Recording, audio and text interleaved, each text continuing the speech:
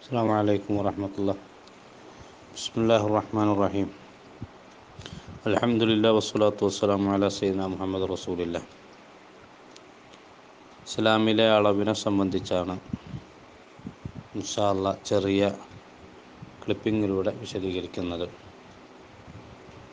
മാനപ്രമാണങ്ങൾ നിത്യജീവിതത്തിൽ ആത്മീയമായും ഭൗതികമായും പല മേഖലകളിലും അനിവാര്യമായി ആവശ്യമുള്ള ചില വിഷയങ്ങളാണ് അനുഷ്ഠാനമുറകൾ ചർച്ച ചെയ്യുന്ന ആചാരമര്യാദകൾ അപഗ്രഥിക്കുന്ന കർമ്മശാസ്ത്ര ഗ്രന്ഥങ്ങളിൽ ഏകദേശം കിതാബുകളിലൊക്കെ ഒരുപാട് കണക്കുകൾ കാണാം. നൂറിലധികം പ്രയോഗങ്ങൾ കണക്കുമായി ബന്ധപ്പെട്ടത് ചതുർപ്രമാണങ്ങളിലും ഫിഖ്ഹി ഗ്രന്ഥങ്ങളിലും ഖുർആൻ ഹദീസ് വ്യാഖ്യാനങ്ങളിലൊക്കെ സ്ഥലം പിടിച്ചിട്ടുണ്ട്. ഇൻഷാ അല്ല ആ വിഷയങ്ങളിൽ നിന്ന് തിരഞ്ഞെടുത്ത അതല്ലെങ്കിൽ ശ്രദ്ധയിൽപ്പെട്ട വിഷയങ്ങളുടെ ഒരു കാൽക്കുലേഷനോട് കൂടെയുള്ള വിഷയമാണ് ഇന്ന് മുതൽ നടക്കുന്നത്. ഏറ്റവും ചെറിയ അളവ് ഹബ എന്ന അളവാണ്. വജാൽനാവു ഹബ അം മൻസൂറ. ഹബാ എന്നാൽ അത്തുറാബു ദഖീഖു അൽ ആലിഖു ഫിൽ ഹവാ ഇലാ യുറ ഇല്ലാ ഫി ഇല്ലാ ഫി ലോ ഷംസ്. പഴയകാല ഊട്ടുവീടുകളിലും അതുപോലെ വീടിന്റെ അകത്തേക്ക് പ്രവേശിക്കാറുള്ള ദ്വാരങ്ങളിലൂടെയും ലഭ്യമാവുന്ന സൂര്യപ്രകാശത്തിൽ അന്തരീക്ഷത്തിൽ പാറി നടക്കാറുള്ള ധൂളികളാണ് ഇതുകൊണ്ട് ഉദ്ദേശിക്കുന്നത്. സാങ്കേതികമായി അതിന് തീരുമാനിക്കപ്പെട്ട അളവ് മരത്തെ കൊടുത്ത ആ ഉദ്ധരണിയിൽ ഗ്രാം ആസ്പദമാക്കിയിട്ടാണ് കൊടുത്തിട്ടുള്ളത്. നമുക്ക് ഒന്നുകൂടെ സൗകര്യത്തിന് അത് മില്ലിഗ്രാമിലേക്ക് കൺവെർട്ട് ചെയ്തിട്ടുണ്ട്.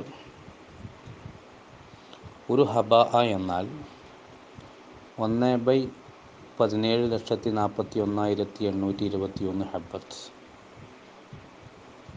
അഥവാ ഒരു ഹബ്ബത്തിനെ പതിനേഴ് ലക്ഷത്തി നാൽപ്പത്തി ഒന്നായിരത്തി എണ്ണൂറ്റി ഇരുപത്തൊന്ന് പാർട്ടായാൽ കിട്ടുന്ന ഒരു പാർട്ട്.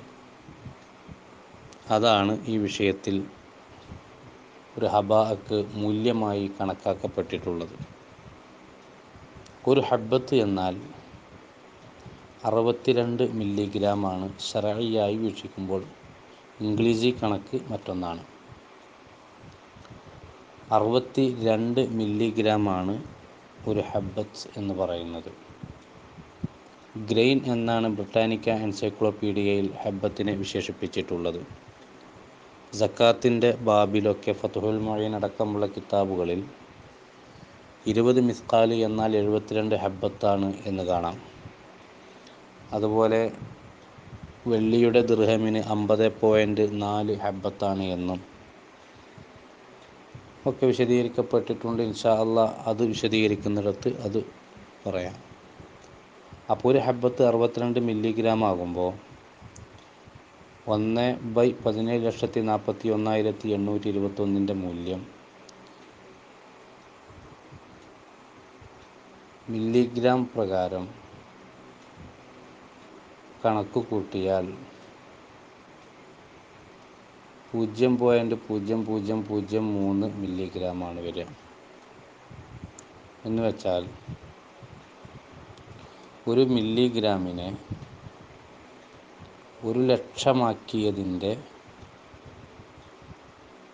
മൂന്ന് പാർട്ടായിട്ടാണ് ഒരു ഹബ അക്ക് കണക്കാക്കിയിട്ടുള്ളത്.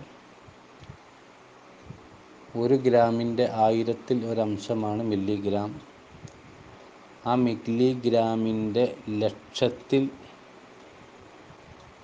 മൂന്ന് ലക്ഷം ഒരു ലക്ഷം മൂന്ന് ഭാഗം ഒരു ലക്ഷമാക്കിയതിന്റെ മൂന്ന് ഭാഗമായിട്ടാണ് ഹബ അക്ക് കണക്കാക്കപ്പെട്ടിട്ടുള്ളത്.